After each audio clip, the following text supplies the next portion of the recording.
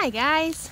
So I just wanted to talk a little bit today about using treats when training horses and if I do that and what my thoughts are on that. So the simple answer to if I use if I agree with using treats for training is uh, it depends.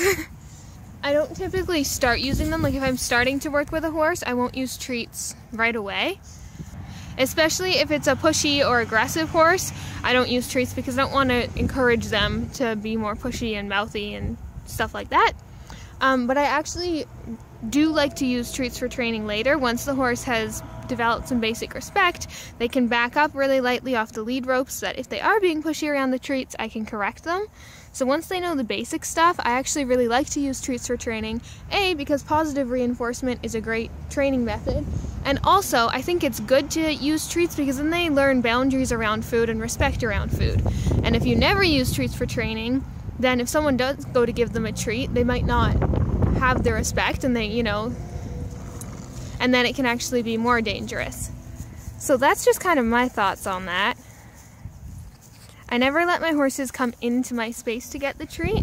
Um, you know, they can see me reaching in my pocket and they can perk up their ears and they know what's coming, but they're not allowed to come towards me to receive the treat. I'll hold my arm out to them and then they can have it.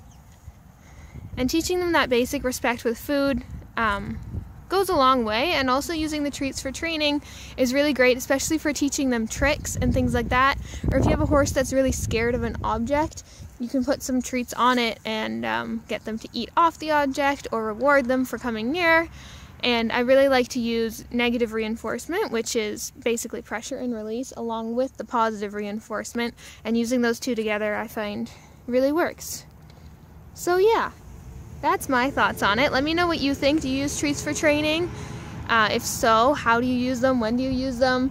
What kind of respect do you expect from your horses when you're using treats? And I will talk to you guys next time. Bye. Say bye, Diesel.